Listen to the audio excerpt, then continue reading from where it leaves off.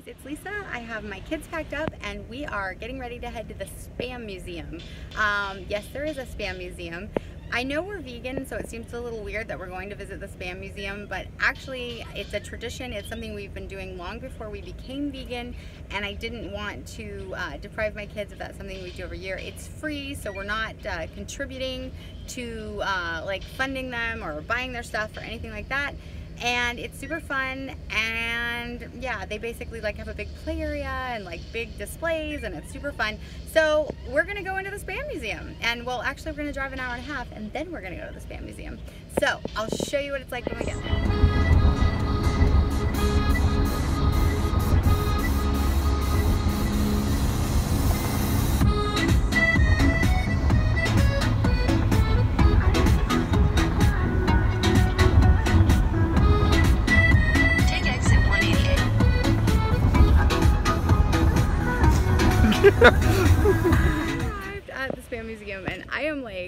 parking lot is like, it's nice and it's readily available and everything, but it's like really small.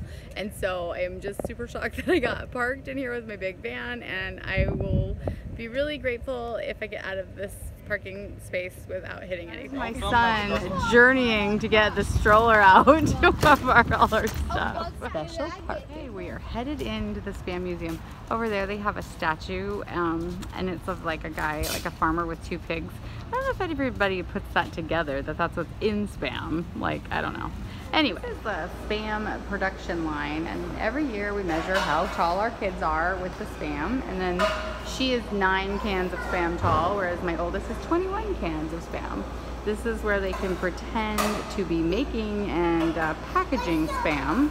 I have one over there that is around and offered us spamples and I felt like a complete weirdo saying, oh, I'm sorry, I'm a vegetarian. No thank you to the spample. It's really crazy, but like they have like a really awesome little play area in here and um, it's kind of like a McDonald's play area except it's like clean and they can like pretend to grocery shop and they can pretend to cook and then there's like a little picnic area over here and um, yeah, it's actually really cool. It's too bad it's all associated with spam. Then you can grill over here. So my kids are gonna come over here and like, they're not gonna know any better. They're gonna like be grilling like avocados and zucchini and stuff. So the spam conveyor belt and all the little various spam, what is that? Par like not paraphernalia, instruments, I guess. Um, it just what I think, one of the word I'm thinking, memorabilia, spam memorabilia. that people kind of look down upon spam. They have quite a museum kind of like commemorating spam. Like, uh, this is kind of what you walk into. Um, I'm headed over actually to fill my water bottle. They do have a really nice water bottle like sample thing. Look, they have spam lip balm and this is super cute. It's a little spam like box that you can open, but like obviously I wouldn't get it because I wouldn't want to be advertising spam. I collect a pair of earrings every time we travel and uh, they have spam museum, spam earrings here and I normally would think that's super cute, but I can't buy them because I'm not going to promote spam. Super cute. For the love of spam, these people had a spam wedding. Oh, good gravy. So we tried shopping for chicken and uh, came off. well, I, I had I kind of had this when I was had this. in That's okay. That's a large chicken. I think it's a turkey.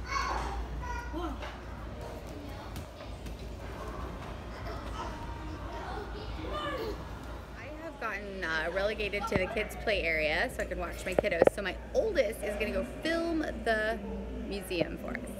So, without further ado, here is your tour guide. Are you going to be filming the Spam Museum for us? Yes, I'm going to be filming the Spam Are you going to be animated and fun?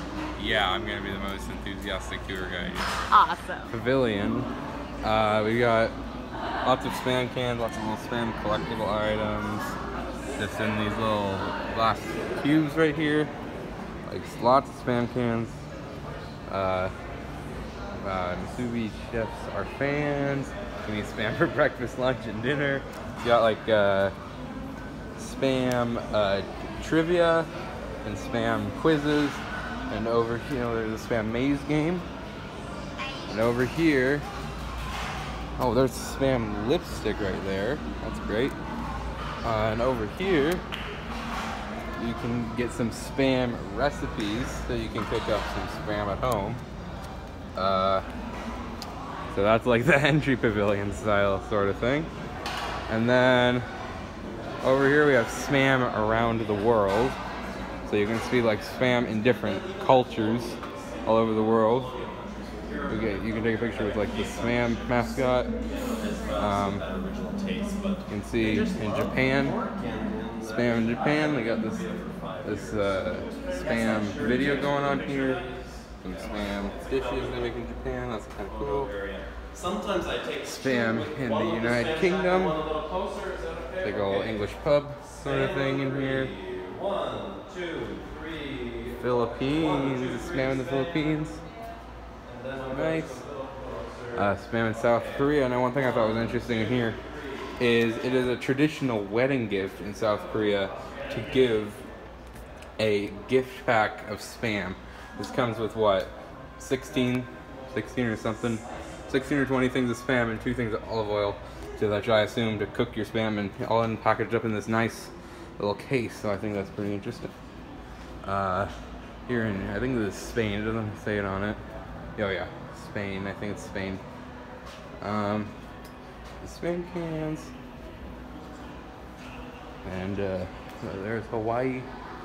And now in here we have a little exhibit on Spam's role in the military.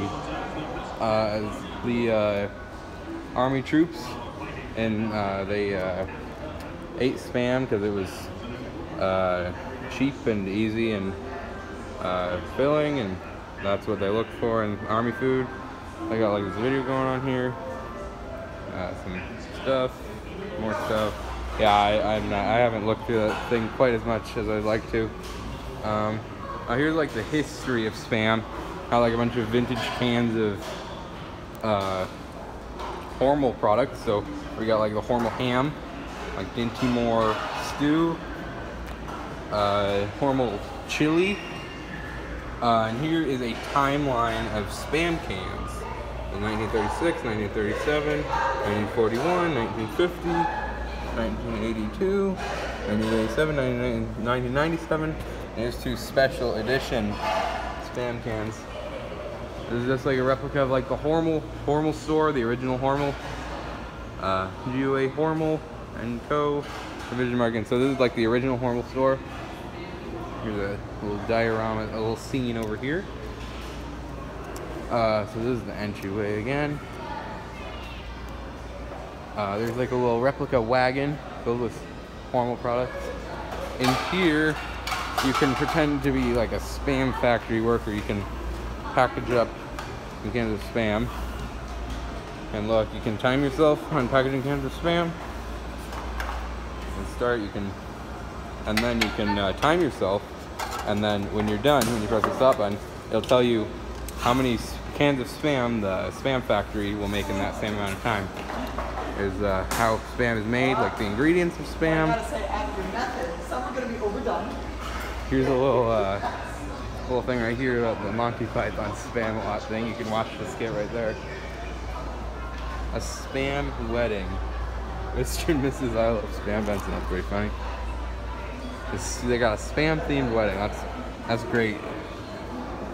Some more spam memorabilia. Now this is something I thought was kind of cool.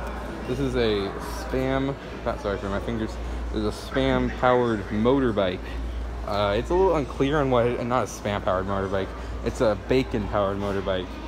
Um, and I'm a little unclear on what that is, but it says it is fuel B100 black label bacon biodiesel. So it's fueled by bacon, which is really weird, but they have it here. Just a thing, uh, educational thing about Hormel Foods, because you know they gotta promote their brands because it's a Hormel thing. Um, transportation of spam through the ages and and here's the play area that my mom was just talking about. So sorry mom, I keep just getting my fingers in the lens yeah so it's a pretty big play area. It's actually pretty nice. So I'm gonna give you back to my mom. The most impressive thing is this like conveyor belt that goes all throughout the museum. Like it goes all over the place. all over. And my little baby, when last year when she was teeny weeny, she used to just stare at it like it, like she's always loved ceiling fans, and she used to just stare at it. Now she's not as interested. Oh, no, no.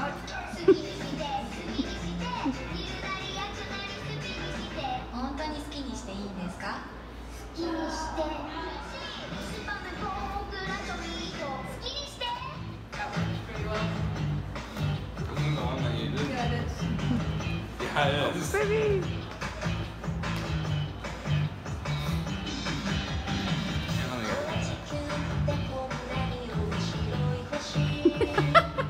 and I just wanted to like say that um, my kids like because I have a teenager um, who has always kind of been into this it's something I didn't want to take away from him but I definitely see things through a different lens I believe than most people um, I've been a vegetarian almost my whole life uh, and then I became vegan recently and um, I've always seen things through a different lens but like being in this museum even though we're not like condoning it by buying anything um, let me just show you something I see through different Pictures and stuff, it in no way, shape, or form makes me hungry for pork.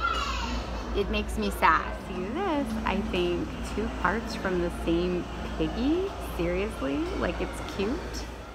a cute little piggy that you just made into spam. That concludes our tour of the Spam Museum. Um, I hope you found it interesting. Um, yeah, I don't know. The Spam Museum is just a. Uh, I don't know. It's something we started doing a while back, and then it's something we've continued to do. And um, like I said, I have a whole new lens looking at it through a vegan from a vegan perspective.